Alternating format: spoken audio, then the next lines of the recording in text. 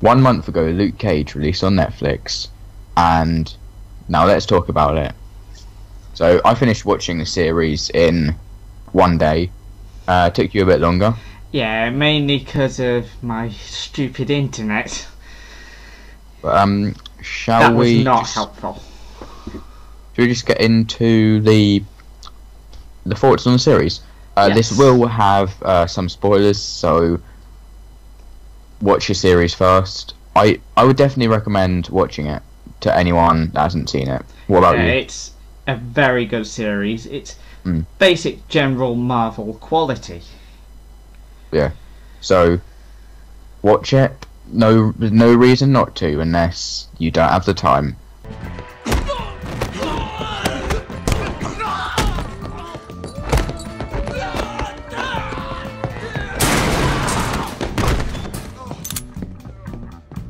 I guess you guys haven't heard about me, have you?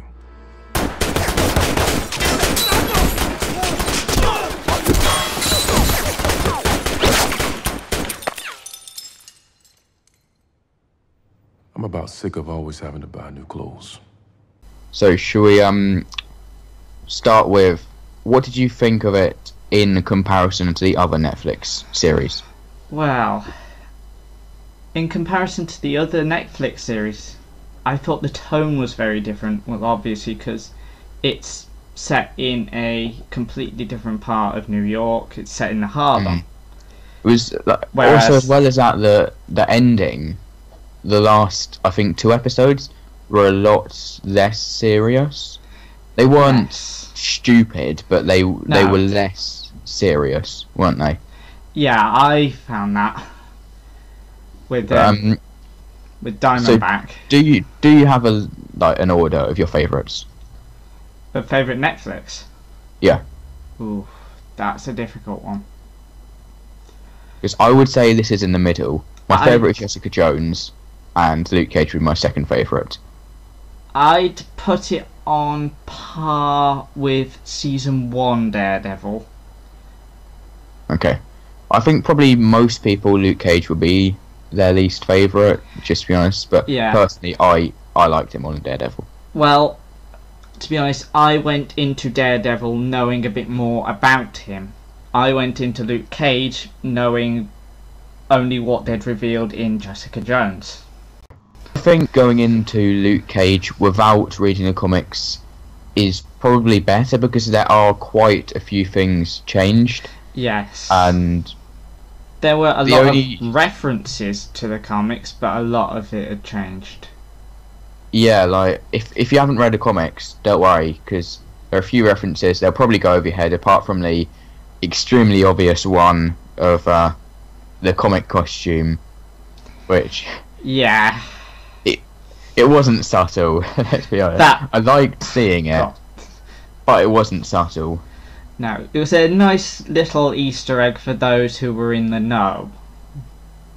Yeah, but I- think with with Jessica Jones, the way they showed her original costume, that way I think if you didn't know that was her costume, No. it would probably go over your head. But I think you'd be able to work out that that was his original costume, the way it was presented Yeah. in Luke Cage.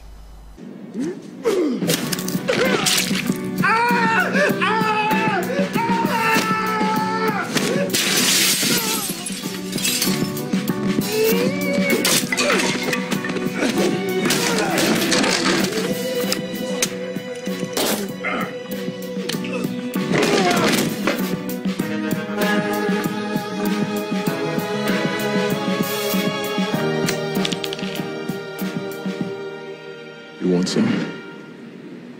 I don't even like these niggas, man. What were your thoughts on the main man, Luke?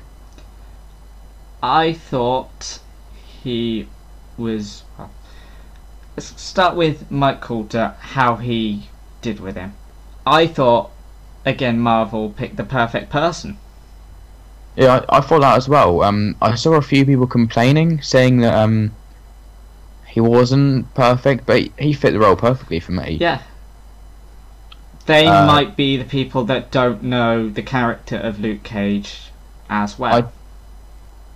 I, I did think he said "Sweet Christmas" a little bit too much. Yeah, Because that was in the comics, I, I think he says different like catchphrases instead of swearing, whereas here it was It's one, just one line. "Sweet Christmas."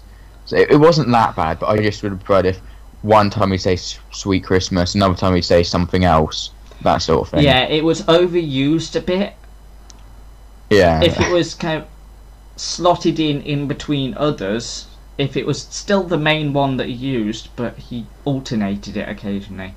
because you can um it's not that american thing where every character has to have a catchphrase it's like the, the marvel films a lot of that is made in Yeah. places outside of america but then the series you can tell that they are american productions so that's one example that he has to have a catchphrase Yeah. It was so um uh, do you want to move on to the villains Yes, I. so there were three villains there was cottonmouth uh, Mariah Stokes and Diamondback. Uh, do you want to start off? First of all, who would you say was your not exactly favourite, but I think you know what I mean, of the three? Okay. So, at first, I thought Cottonmouth because he was really threatening, uh, quite dominant as well. But then, um, when it just throws you off and he just gets killed off by, Mar- by Mariah, I thought, that well, she's quite quite strong, but then she just never showed that side of her again throughout this rest of the series. I So was quite would disappointed about that. Hmm. I it thought wasn't they could have. I thought they could have done it j- even just once more near the Yeah. end. If if after I thought at that point she would flip and she would replace him, but then they just got in Diamondback, so yeah, they were they were well well done villains, but yes. compared to last year's Kilgrave, I thought. I've got to say, I think he is my favourite Marvel villain so far. Kilgrave, Yeah, like in the actual cinematic Hmm. universe. yeah, he's definitely mine. But Jessica Jones might even be my favorite Marvel um, MCU thing. Wow. Ooh, even though I like films more than I like TV series, I just think Jessica Jones handled so perfectly.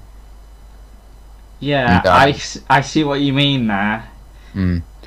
It's, Especially because it's it, it's for so unbelievably close to the comics as well, which Well, is pleasing. I when- didn't really read the Jessica Jones comics. I hadn't even heard of her, to be honest, before the series was announced. And Well, then um, I did a little bit of research. research. sort of her. the same. It's the same overarching story. She still, um, you know, gets together with Luke Cage for you know a night. That it's the overarching story is the same. So that was good, and um, so what's a good villain without a good weapon? What did you think of the Judas bullets? And I don't know if they were named, but the punching things where I can punch people. I don't recall them giving them a name. There is Hmm. probably a name somewhere on the internet, Yeah. But but what do you I think of those two love. weapons? I love the way it was incorporated. That it was hammer tech that he was Yeah. using, Yeah, that was good. just in hammer. I actually didn't notice that at first. I thought, okay, hammer was. Oh, I, that. I noticed it straight away. It, it took me. It took me a second to remember. Even though Iron Man 2 is one of their weaker films, it's got the connection. yeah, it's it's really smart how Marvel doesn't shy away from referencing it. Like Star Wars, you know, I love Star Wars, but they shy away from referencing the prequels. Whereas Yeah. Marvel, they're they're still proud of their. I wouldn't say bad. They're proud of their lesser accomplishments. Yes, they don't. They don't always just reference the best ones. No. They're honest. Um. So yeah, the Judas bullets. They they were quite good. Uh, I was definitely a fan of the punching things, though. Yes. I know a, someone I like to use that. Y- on. yes, I I know Don't, you do. Don't, don't call the don't call the police. It's a joke. It's a, don't don't section me. To be honest, I think we all know somebody that we would like to do that to. So Uh, like, I'm sure there might already be one, but um, if you if you know games, Garry's Mod, I'm sure someone's gonna make that on Garry's Mod. yes, I know That's Garry's right. mod well. Yeah, just punch them and they go flying. Like, it wasn't that funny in, in the context of the series, but in Yeah. a game, it would be funny. I think I might have to have a look for that after this. Alright, so they they were good weapons, but the thing that worries me is that these are really good, powerful weapons. So why do they not appear in the other Marvel properties? But you could definitely take down Iron Man with them. Yeah. So if there was Spider-Man Homecoming, that's the next thing Iron Man's probably going to appear in, right? He is So- definitely well. Tony Stark is definitely going to be appearing, and it's confirmed. Yeah, so as long as they have a reason why that isn't going to appear, or it is going to appear in the future, that that's the one little thing that worries about it because it's such a good Yeah. thing. It wouldn't make sense for them to just go. Out. I would like Yeah. them to use them again in some way. Mm. Okay, so move on to cameos. There was the um, Trish cameo. It well, I, I don't know if you'd really call it a cameo, but she. I can't remember which episode it was, but in the opening one of the episodes, you heard um, Trish talks talking about um, the Luke Cage situation, and I thought that was smart because obviously it's connected to Jessica Jones through Luke Cage and one or two Oh, yeah. mentions of Yeah. Jessica. But um that was another thing just to connect them even more. And there was uh the woman is she night nurse? Yes. Yeah. Claire Temple is she is obviously night nurse. Yeah. I I figured out connecting. that well basically from Daredevil.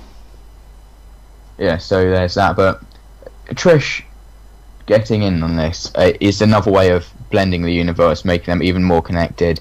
I really hope one day she gets to be in a Marvel movie because you've see have you seen all that stuff about how people are saying it will be a bit hard to cross over like Luke Cage and getting Luke Cage into Infinity War, something like that because of the scheduling. They don't know what's going to happen. Because Trish is a minor character, I think that could easily work.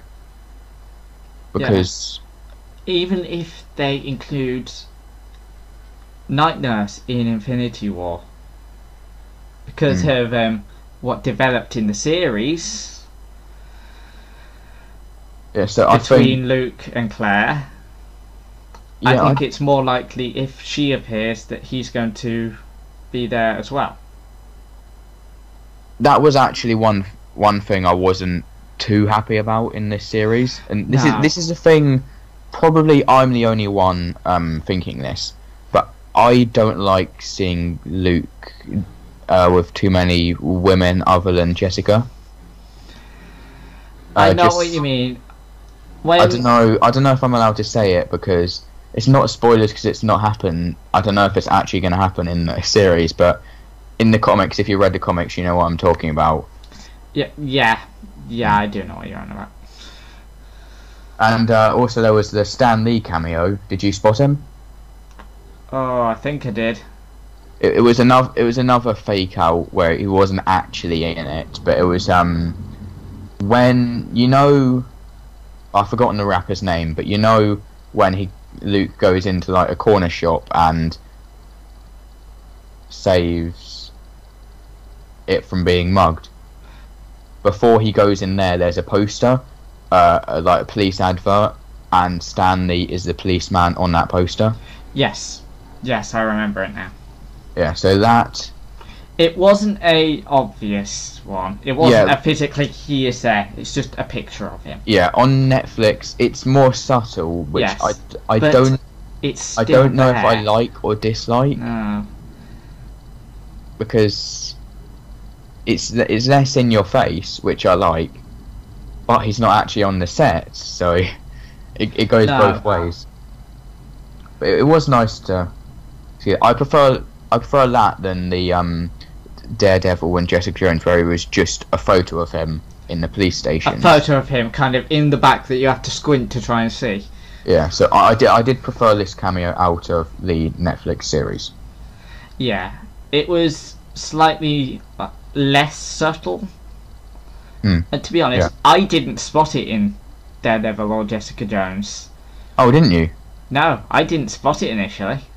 Oh no, I I because I was I was thinking, is he going to appear? Because I was looking out because I, I wasn't sure if he would appear because it's usually the films he appears in. So I was looking out, but um, another connection between between the MCU. Yeah.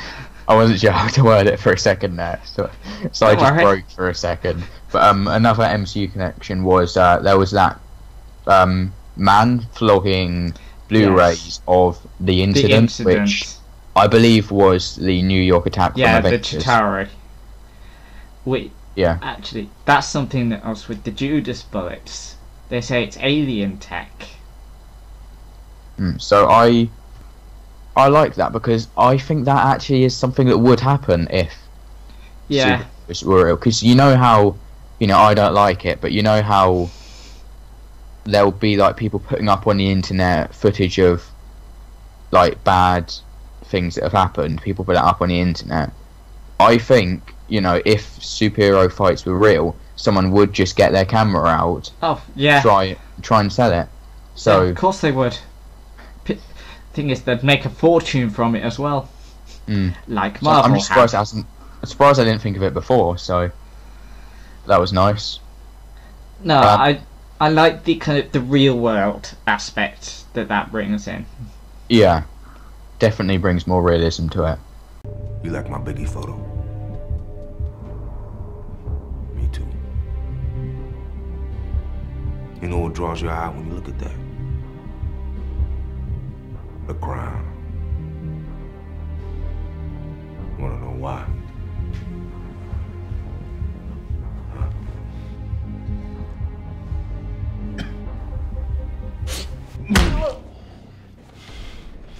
Hmm?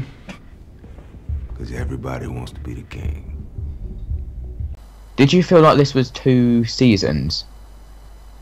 Because Yes. I felt like I it felt should like- have ended. They should have done one series, ended it um, episode six when Cottonmouth was arrested, and that should be like the happy ending of that series, and then have a season two where you think Cottonmouth's coming back.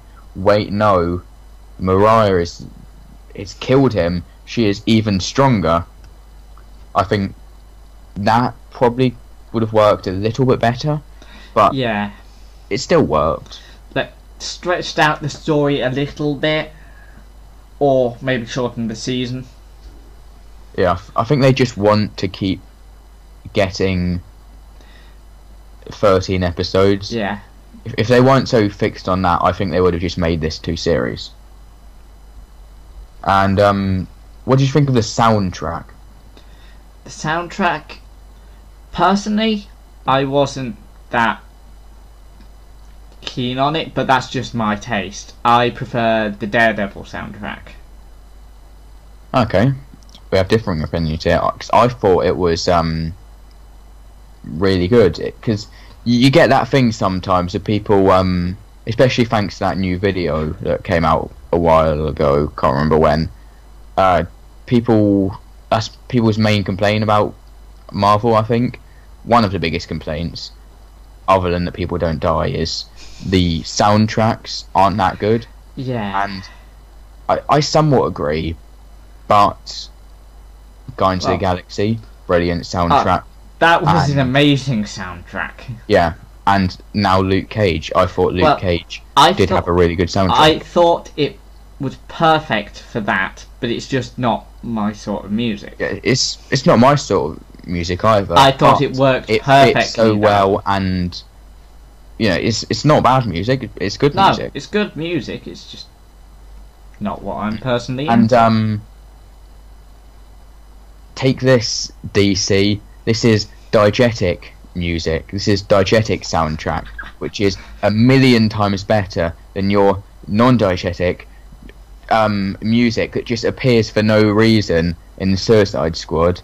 Like Suicide Squad had a good soundtrack, but it had no plot meaning, and I I prefer when it is a diegetic soundtrack. So, Guardians of Galaxy, Star Lord was actually listening to the music.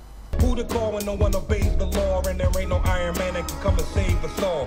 Power to the people and Luke Cage the cause and the cops got it wrong. We don't think Cage involved. Look, dog, a hero never had one. Already took Malcolm and Martin. This is the last one. I beg your pardon, somebody pulling the fast one. Now we got a hero for hire and he a black one. Luke Cage, there was music actually playing, and uh, I I really liked how it um, blended both diegetic and non-diegetic soundtracks because I'm I'm getting into like boring filmmaking terms here, but Don't worry. but it starts off. No idea what you're on about. Well, diegetic is um something the characters can actually hear. Non-diegetic is um what the characters can't hear. So a song that isn't actually playing. Yeah, that makes sense now. Yeah. So it starts off diegetic by showing you in um, Cottonmouth's club it playing. So there's a reason for the music to be playing, and then it cuts to a scene of Luke Cage doing something, and the music continues playing. And I thought that was really, really smart because I I just prefer diegetic soundtracks all the time. yeah, I do like it when they do that. Instead of Yeah. just here is some background music. Mm. So yeah, there were some nice little references like um, the Shawshank Redemption reference, which Did I pick up on that? I can't remember. oh you didn't pick up on that. I can't remember. I've I thought that was quite an obvious reference. I've He, um, never seen Shawshank, so what? I've personally never seen Oh. Shawshank, so It's on Netflix, so yeah, I need to watch it. yeah, it's it's really well made.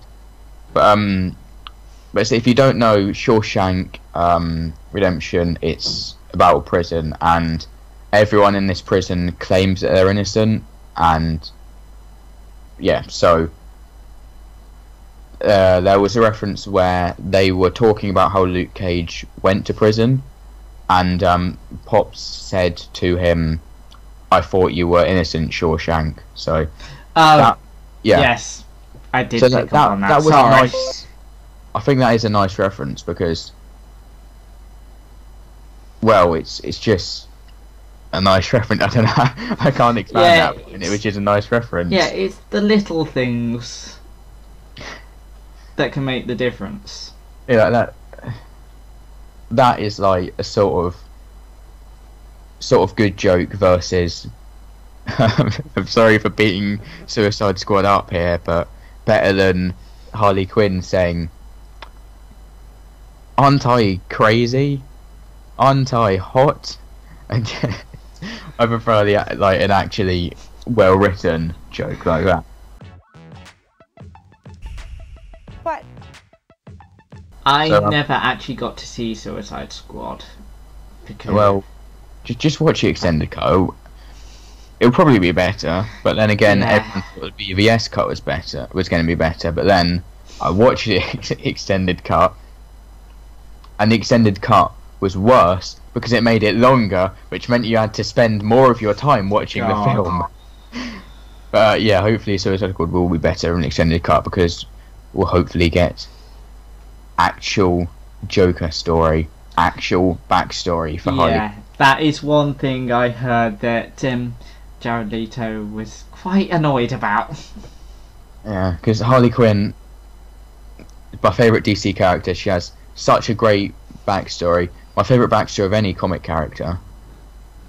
Like e- even as Wow. a Marvel a Marvel fanboy, I think Marvel is better on every every other occasion apart from this one exception. That's fair enough. Alright, so are we about done? I'd say there isn't much left to cover. So one le- one last topic. Yeah. This will be very brief. This is whenever a Marvel thing comes out, I always like to think of the future of the MCU. How will this affect uh, future, or just whatever comes next? So Yeah. that really depends on where you think this was set, because it didn't mention the Accords from Civil no, War. that's what I was. That's what I picked up on. Yeah, so I think this was set before Civil War. Yeah. But so then again, obviously it can't affect Civil War because we've watched it. then Uh, again, they always they've said that all the properties are set when they come out. What about the first Avenger? that wasn't set when it came out. You know what I meant. The end of that was set when it first came out. Yeah, I, Well, I think all apart from not set when it Guardians 2. out. I think this was set before Civil War. Yeah. But, um, I it, really depends on the future MCU if they are going to bring in the Judas bullets because I think that would be interesting because um, it it's an effective way of taking down a superhero. Clearly, so yes, because it managed to take down the man with unbreakable skin. Yeah. And uh, apart from that, the only thing I can see this affecting will be Iron Fist because That being uh, you'll have Night Nurse in that, Yeah. and you might get Luke. I was expecting to see um, what's is his name Danny? Is his name Danny Rand? Oh yeah, Danny Rand. Yeah, yeah.